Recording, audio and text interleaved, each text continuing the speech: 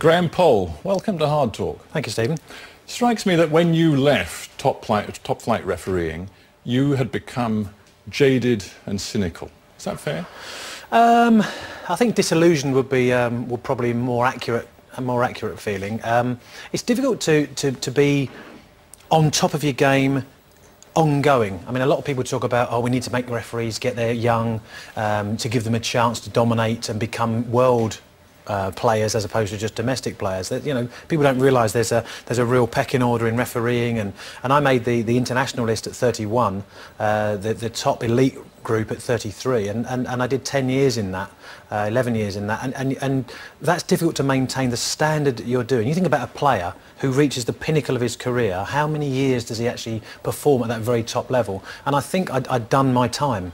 But I used those words advisedly, jaded and cynical, uh-huh. because mm -hmm. you describe how toward the end of your career, you had begun to think that there was no point in certain decisions being taken because mm -hmm. you wouldn't be backed by the footballing authorities. Mm -hmm. You'd lost confidence in the system.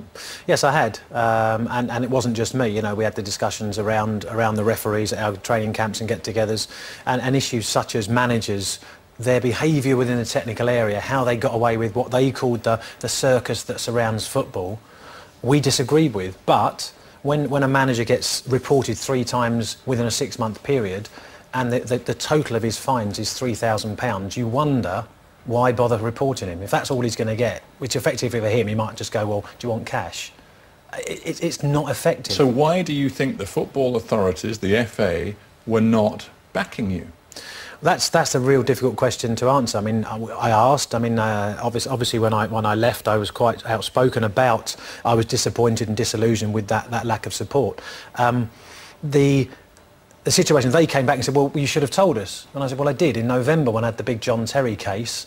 I did say to you I was disappointed. I did feel you left me hanging to dry. I did feel you left my integrity in question. And that is the key thing for a referee. Who, who did you tell that to? The very top people at I the FA, to Brian, Brian Barwick? I, I, spoke to Brian Barwick himself. I spoke to Graham Noakes, who's the company secretary. And I spoke to the people in charge of the um, compliance unit. And what the did they say to you? Oh, be patient, Graham. These things take time. There's a process we have to go through. We have to investigate all things. We're not just representing referees. We represent players. So, you know, if a player's made an accusation against a referee, we don't just investigate the player, we investigate all parties. But within two or three days, they had categoric assurances from my two assistants and my fourth official that what I'd been accused of saying I hadn't said because we we're all mic'd up. They heard every word I said during that match.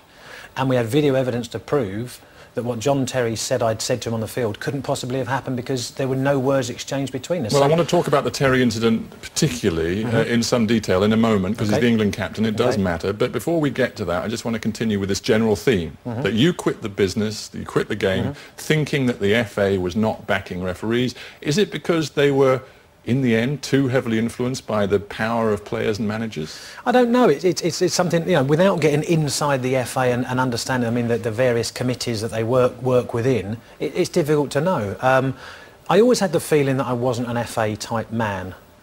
But this isn't just about you, it's about referees. It's, it's, it's about the authority of referees. But, but, but, what you've got in the end was it, it almost became a battle between the, the country's lead referee and, and the country's lead player, if that's what the England captain is. And that, that's something we could discuss. And I felt that, in the end, OK, they said, oh, well, we found him guilty, or he, he ended up pleading guilty, and they fined him £10,000. Now, £10,000 to me is a huge amount of money. £10,000 to John Terry is a morning's wages. Uh, that's not really teaching him a lesson, in my view. And, uh, and until and unless the authorities come down heavier and are more appropriate with players and managers, they're not going to improve their behaviour. Well, I want to pick up that point too later on, but just sticking with what you said about oh, a decade and a half at the mm -hmm. top of the game in the Premier League, international refereeing as well, you've talked about the pressure, yep. about how it takes its toll on you. Is the pressure much greater today than it was when you started out in the professional oh, oh without a doubt. I mean, you, you, you almost can't compare the two things. It's almost impossible. Over just 14 years, you can't compare how it was to how it is. And if you had to define, as briefly as you can, why the pressure is so much greater, what is that definition? That, that, that, I would take that away from the FA and say that's, that's media scrutiny. That, that's more than, more than anything else. It's media scrutiny in that it used to be six cameras a, a, a, a game. It used to be that um, a referee could be called incompetent but he, he was never questioned his integrity. Now it's a personal attack. It's, it's, you know, a referee takes great delight in sending a player off. It's about how he wants to be centre stage. It's, it's a personal attack, and also there's undermining the integrity. You only gave a penalty because it's a big team, and there becomes there's become this real fascination with big team, little team, that maybe was always there, but was never to the fore, and a referee's integrity was never questioned. Now maybe that's because in other countries virtually, you know, almost every other country in Europe, when you, when you look, there's been Italy, Germany, Portugal, Greece, Poland, there's been problems with corruption in refereeing. Maybe that's starting to because we got lots of um, international players coming across. Maybe people are thinking that that happens here. And is it because it's moved on to the issue of basic referees' integrity rather than just incompetence and mm-hmm. making rubbish decisions? Yep. Is that the reason why? And just to quote Urs Meier, who mm-hmm. a colleague of yours, top yep. international referee, yep. who's always now connected with the Euro 2004 yes. game, Portugal-England, when he disallowed an English goal, which English fans thought he should have given, allowed. Uh-huh. He has now said that he believes, because of the sorts of accusations levelled at referees about their integrity, mm-hmm. that a referee will be killed within the next five years. It's, it's, it's an interesting, I mean, I, I wouldn't go as far as that. I hope, certainly hope they aren't. I mean, uh, it, well, obviously we all hope they won't be, but have you ever felt threatened? I've felt threatened. I've been threatened. You know, I've, I've received death threats. I've received dreadful things in the post. Death I've received, threats? yeah. Death I've threats from whom? I received death threats from, from fans after a particular game went against them and that was, I mean, that's, I've, I've put that in the book I've, I've just just released, as you know, um, and that that's something which you look at and think, you know, they went to the trouble of going abroad to post that to me. It wasn't posted in North London, it was posted in Spain.